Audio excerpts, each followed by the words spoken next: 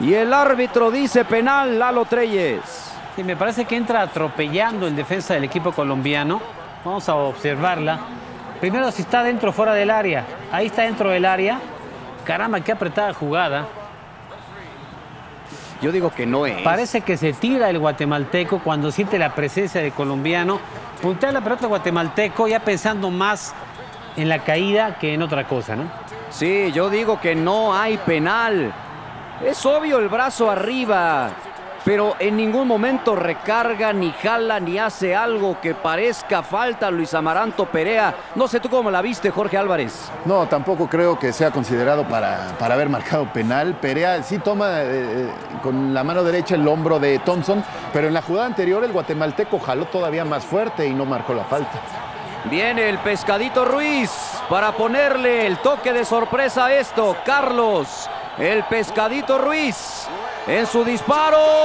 ¡Gol! Guatemala le está ganando a Colombia con esa pena máxima que saca el árbitro desde mi punto de vista, no sé de dónde.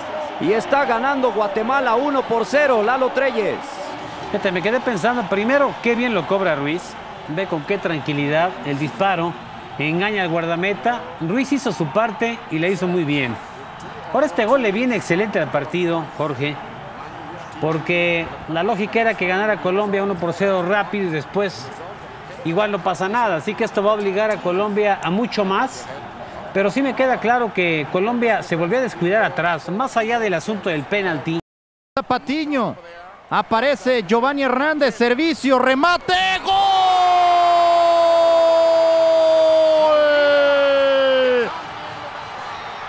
Mao Molina, Mauricio Molina la firma para la selección de Colombia.